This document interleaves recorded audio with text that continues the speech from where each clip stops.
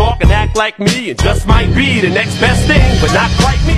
I'm Slim Shady, yes, I'm the real Shady. All you other Slim Shadys are just in my